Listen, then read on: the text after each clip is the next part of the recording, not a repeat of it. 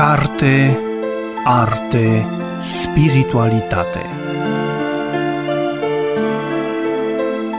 Bun găsit, dragii noștri! Astăzi vom aborda un domeniu mai puțin cunoscut, dar foarte important și un domeniu în care ziua de astăzi contează foarte mult. Fiecare zi care trece contează foarte mult pentru că este un domeniu ce încet, încet își va pierde oamenii care mai pot furniza informații. Este vorba de tradițiile și obiceiurile noastre strămoșești, este vorba despre etnografie și folclor și sunt bucuroasă că a acceptat invitația mea, doamna conferențiar universitar dr. Georgeta Orian. Bine ai venit! Eu o să invitație. vorbesc la persoana a doua pentru că deja au trecut câțiva ani buni de când ne cunoaștem și de când împreună facem ce putem în acest domeniu domeniu ca să nu-l lăsăm uh, necunoscut aici la noi în județul Alba, necunoscut pentru că uh, ar fi păcat ca patru mari piloni ai etnografiei românești care s-au născut în județul Alba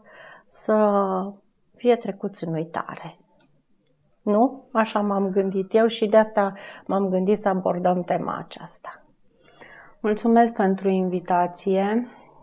Rezonez bineînțeles, la uh, ideea aceasta că domeniul larg al etnografiei, al etnologiei, al folcloristicii din România are în județul Alba niște reprezentanți de seamă și cred că, da, au primit atenție și primesc atenție în continuare, cei patru despre care vom vorbi când să le spunem numele. Putem oricând să le spunem numele. Ne gândim acum la Valer Butură, la Gheorghe Pavelescu, la Ovidiu Bârlea și la Ilie Moise. Uh, spuneam că cei patru uh, etnologi, folcloriști, etnografi au primit și primesc în continuare atenție, zic eu, Însă ceea ce lipsește și probabil că ar fi un, uh, un bun proiect de viitor este poate o lucrare de sinteză care să reunească toate contribuțiile lor și să le uh, ofere publicului interesat așa împreună. Nu știu de ce mulți ani au, au fost lăsați în uitare. Bine, nu vorbim aici de Gheorghe Pavelescu, care până în 2008, slavă Domnului, a fost printre noi și care are urmașă în fica sa ce nu numai că îi duce mai departe catedra, dar uh, este foarte preocupată de opera domniei sale și au apărut uh, alte și alte ediții ale lucrărilor domnului profesor Pavelescu. Uh, nu, vorbi, nu vorbesc de domnul Ilie Moise, care încă este printre noi și încă este foarte activ și încă scrie și încă an de an publică, dar mulți ani Ovidiu Bârlea și Valer Butură au fost păstrați într-un sertar și uitați cumva acolo și de-abia foarte târziu, grație domnului profesor Avram Cristia, Uh, au fost scoase aceste manuscrise și tipărite pentru prima dată sau au fost reeditate cărți apărute de mult, tare de mult. Uh, m-aș opri întâi la Ovidiu Bârlea, pentru că ți este mai apropiat sufletului tău. Ce pași importanți s-au făcut pentru a păstra memoria vie a, a lui Ovidiu Bârlea ca personalitate și a operei sale? Mă bucur că l-ai amintit pe regretatul profesor Avram Cristia, căruia îi datorez, de fapt, bucuria de a-l fi descoperit pe Ovidiu Bârlea mai mult decât un nume de autor într-o listă de bibliografie pe care probabil că am avut-o la școală, la universitate. La invitația domnului profesor Avram Cristea am am fost la Mogoș pentru prima dată, nu mai știu în ce an s-a întâmplat asta, dar știu că atunci s-a dat uh, bibliotecii din localitate s-a dat numele. În 2006. În 2006. În 2006, da. Și cu ocazia aceea am cunoscut mulți uh, oameni care l-au cunoscut pe Ovidiu Bârlea și am început să descoper uh, fața aceasta nevăzută a uh, autorului Ovidiu Bârlea și evlavia, venerația, admirația pe care uh, unii dintre cei care l-au cunoscut încă i-o purtau și încă i-o poartă. Mă gândesc acum și la profesorul Ion Ciubotaru de la Iași, care în fiecare întâlnire pe care am avut-o la unele conferințe de la Iași a vorbit cu multă admirație despre el. Uh, ce s-a făcut pentru recuperarea lui Ovidiu Bârlea? Ovidiu Bârlea e un nume cunoscut specialiștilor, dar, cum spui, e posibil ca în continuare să, să rămână necunoscut publicului larg. Um, s-a reeditat metoda de cercetare a folclorului, chiar la editura Reîntregirea, care a fost o lucrare foarte importantă și rămâne în continuare o lucrare foarte importantă uh, și care rămăsese doar la ediția ei prin CEPS, nu mai știu, din anii 70, cred. Final exemplarele, 60, da. da exemplarele și tot, tot, tot grație profesorului Avram Cristi a fost reeditată. Cu acel prilej a apărut. Da.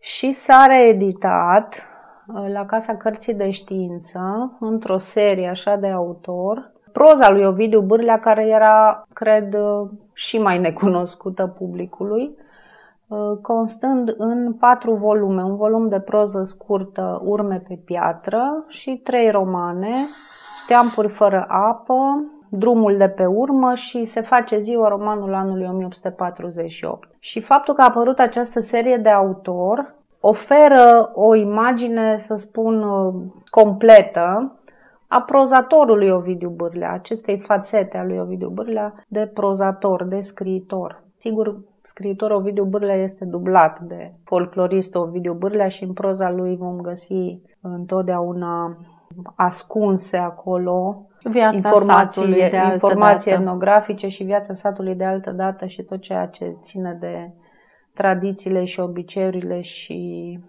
cultura tradițională a zonei munților Apuseni. Munții Apuseni au adus în acest domeniu și un alt nume la fel de important, deși absolvent de geografie, a fost preocupat, foarte preocupat de domeniul acesta al etnografiei și al etnobotanicii. Ea nu se confunda cu Nimic altceva. Nimic altceva.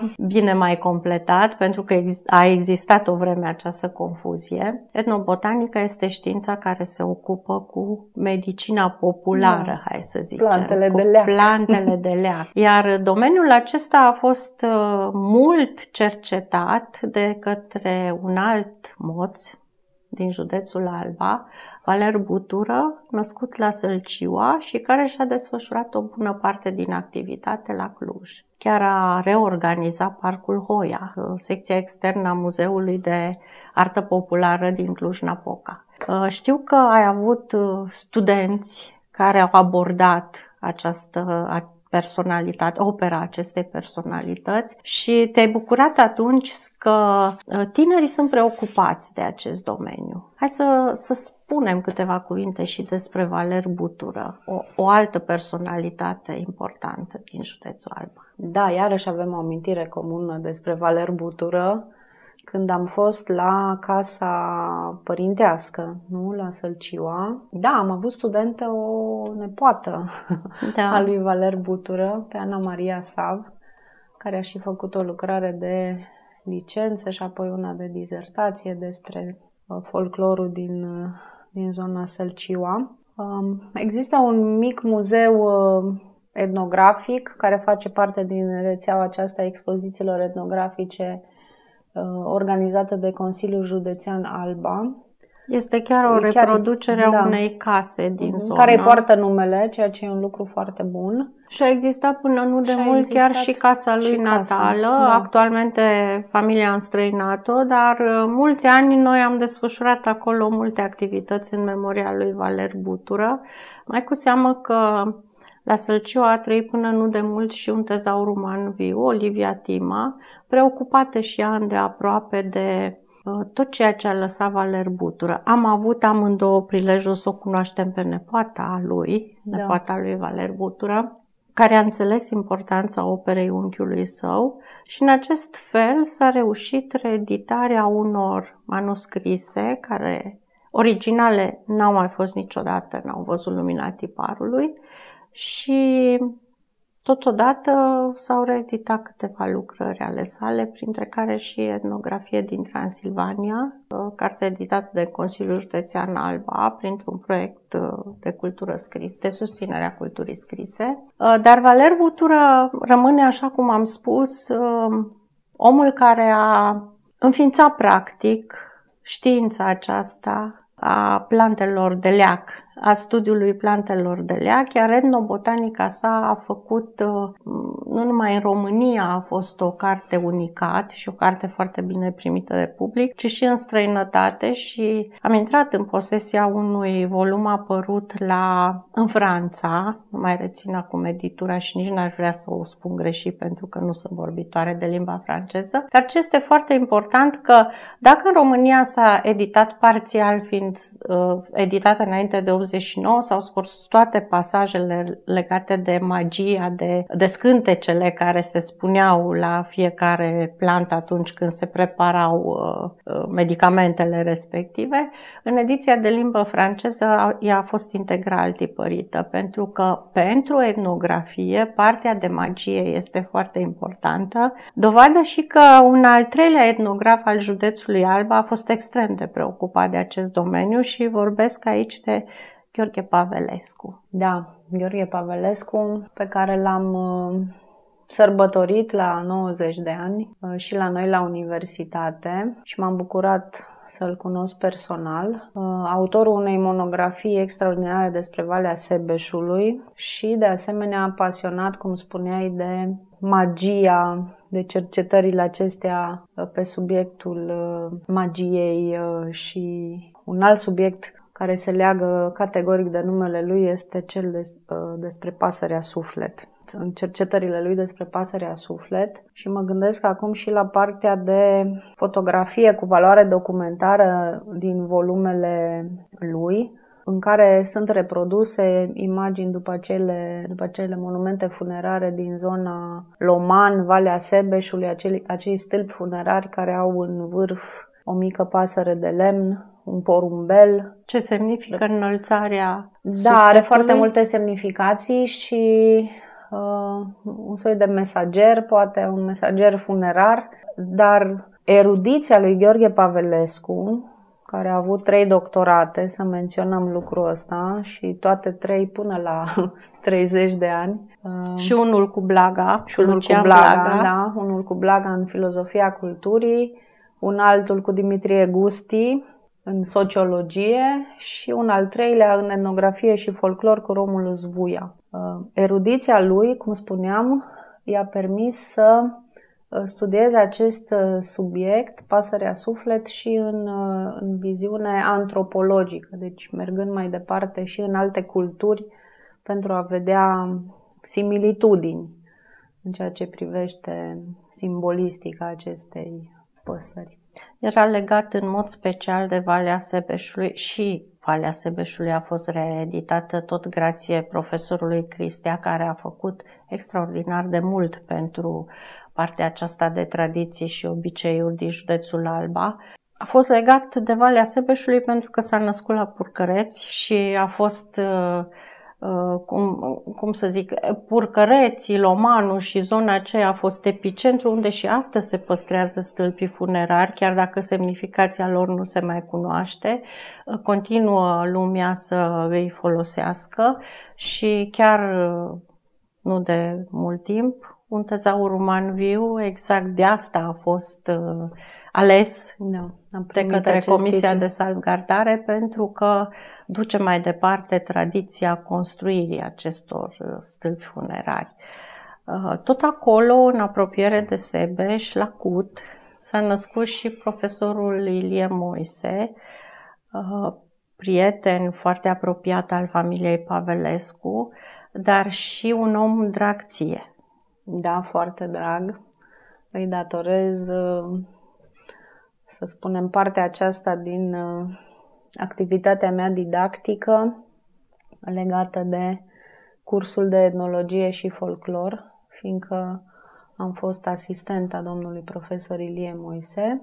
Da, domnul Ilie Moise a făcut uh, posibilă pasiunea aceasta pentru etnologie și folclor, care uh, a dat rezultate concrete, zic eu, măsurabile într-un număr consistent de lucrări de licență ale studenților pe diverse teme și iată în felul acesta merge mai departe preocuparea aceasta științifică pentru de foarte multe ori studiu monografic, dar nu doar studiu monografic, pentru diverse teme legate de cultura tradițională.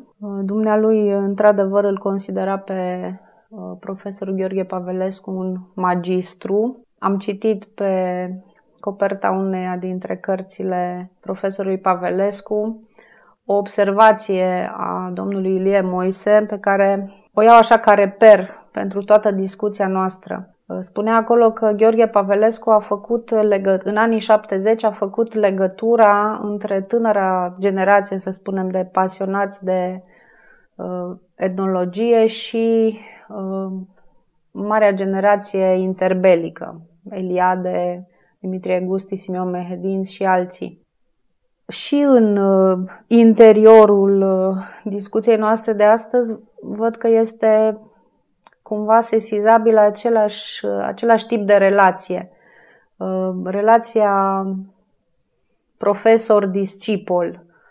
Pasiunea aceasta sau um, a existat întotdeauna un profesor, un specialist care a văzut potențialul cuiva. Ion Mușlea a văzut potențialul lui uh, Gheorghe Pavelescu. Gheorghe Pavelescu a văzut potențialul lui Ilie Moise și așa, mai departe. Merge, merge cumva din generație în generație pasiunea că e pe lângă știință trebuie să fie și o pasiune pentru acest în domeniu. În acest domeniu, da, și uh, Ilie Moise a văzut potențialul Georgetei Orian, drept care i-a lăsat moștenirea această catedră de... De fapt, nu este o catedră. Nu este o catedră. Din e păcate. Un curs.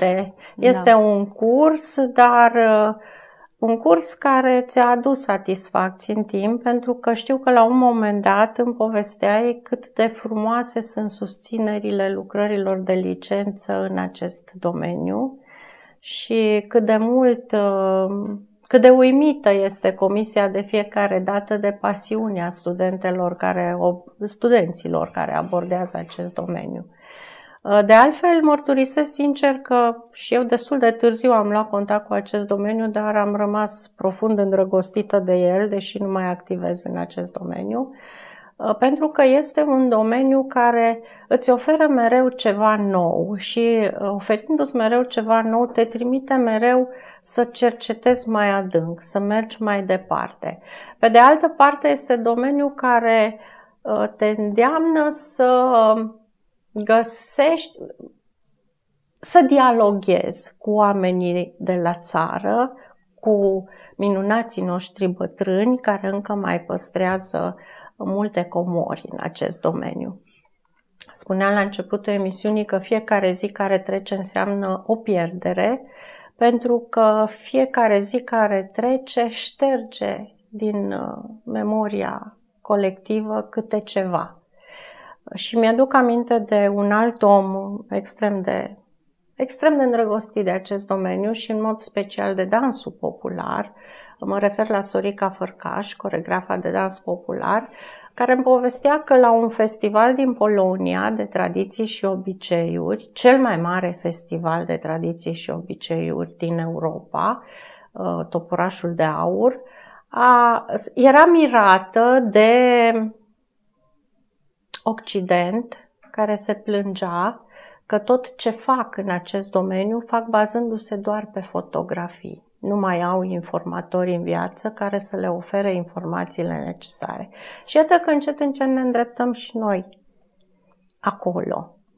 Uh, cum privesc studenții din ziua de astăzi acest domeniu?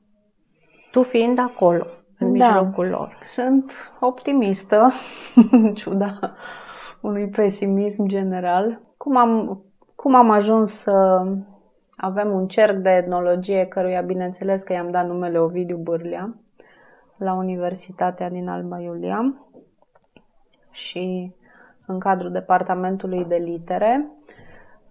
În urmă cu niște ani, prin 2010, cam așa, am avut șansa unui uh, proiect care, uh, în cooperare cu Consiliul Județean, care valorifica tocmai uh, aceste, această rețea a expozițiilor etnografice din județul Alba.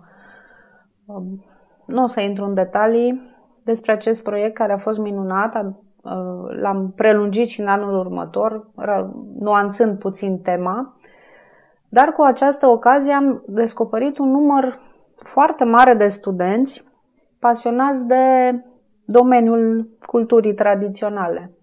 Și asta m-a făcut să cred că e posibilă înființarea unui cerc de etnologie, care a avut uh, perioade de activitate mai intensă, poate de activitate mai puțin uh, intensă, dar și-a păstrat uh, constant, să spunem, profilul din 2015 până în prezent și din nou voi vorbi despre niște rezultate măsurabile.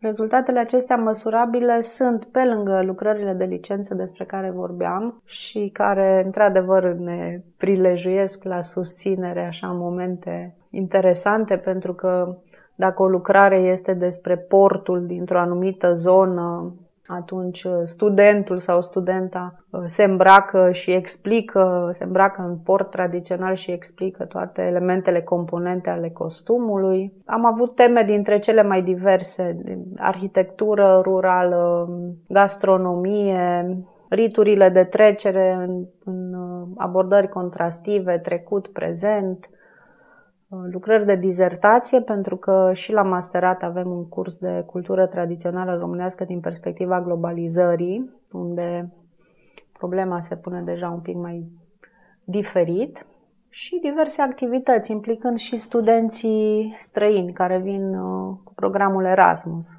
Și pentru ei toate aceste um, activități care presupun ceramică, obiceiuri, uh, că sunt spectaculoase. sunt spectaculoase și e și o întâlnire așa între culturi, pentru că în astfel de ocazii pot și ei să vorbească despre cultura lor.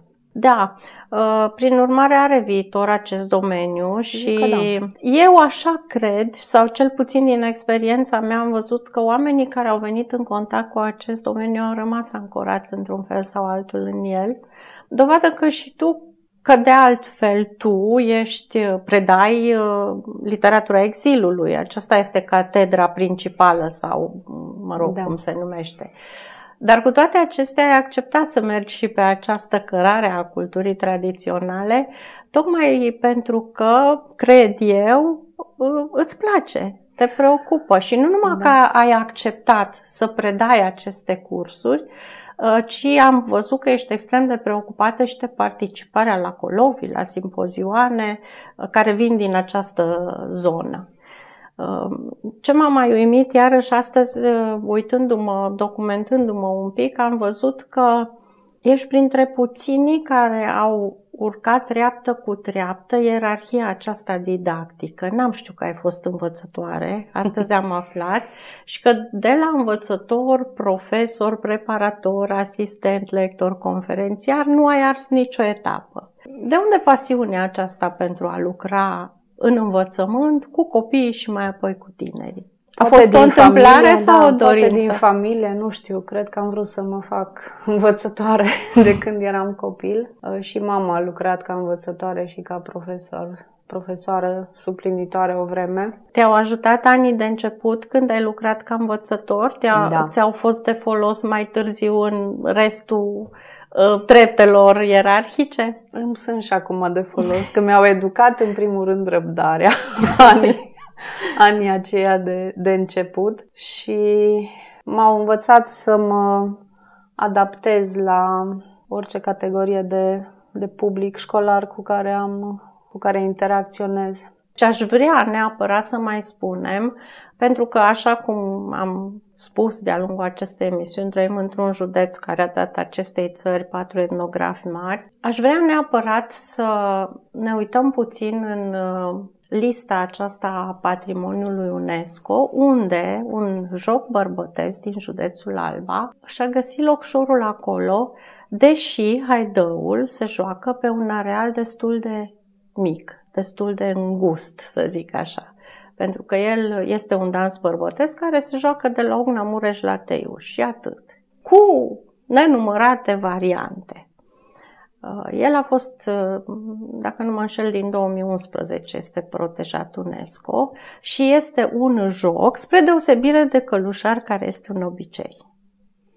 Și este o, o, o tradiție care a ajuns la noi aici uh, întâmplător, adus de călăreții lui Mihai Viteazu și rămas aici, culmea, adus din sud, unde este un obicei de rusalii, adus la noi, unde a devenit un obicei de Crăciun.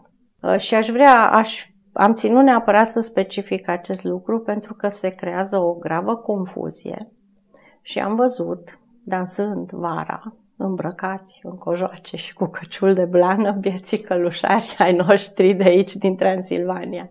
Nu numai în județul Alba și în alte părți. Uh, nu este un dans de scenă, nici vorbă de așa ceva. Este un obicei și ar fi bine să rămână un obicei, așa cum uh, am mai sesizat o greșeală și trebuie să o vorbesc cu cadrul didactic, care este George Taurian. Uh, nu știu ca în tradiția noastră populară, la o clacă, să fi fost instrumentiști femei. Ai văzut așa ceva? Da. Din păcate, da. Și încă o studentă la conservator, chiar la muzica tradițională. Acestea fiind spuse, noi ne-am apropiat de finalul emisiunii. Um, Universitatea Alba Iuliană, iată, are o ofertă foarte bogată de studii și cursuri și aș vrea să încheiem cu un mesaj de data aceasta al cadrului didactic universitar Alba Iulian.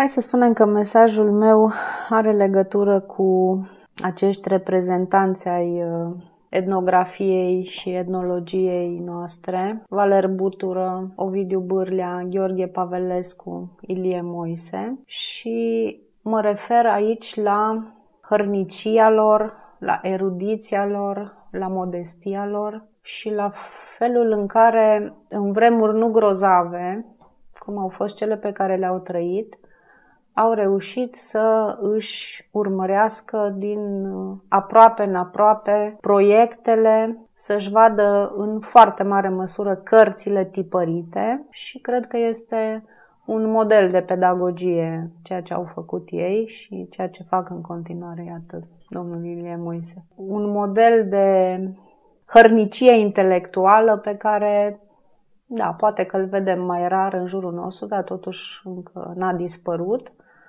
și cred că dacă, dacă vrei să faci uh, ceva serios într-un domeniu, oricare ar fi el, uh, asta e singura cale. Mulțumesc foarte mult, George Taurian. Uh, succes în noul an școlar ce se apropie cu pași grăbiți și Doamne ajută cât mai mulți dintre studenți să îmbrățișeze acest domeniu care este extrem de ofertant. Mulțumesc foarte mult și eu îmi doresc să fie, să avem parte de studenți cât mai pasionați de tot ce înseamnă cultură, literatură și, de ce nu, și folclor. Mulțumim și dumneavoastră vă dorim să rămâneți apropiați de acest domeniu care ne duce cu gândul înspre bunicii și străbunicii noștri, înspre vatra satului românesc. La revedere! Ne vedem săptămâna viitoare!